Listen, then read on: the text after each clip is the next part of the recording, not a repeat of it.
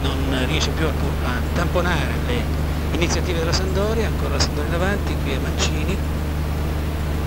il cross, il rinvio della difesa veronese, ancora la Sandoria,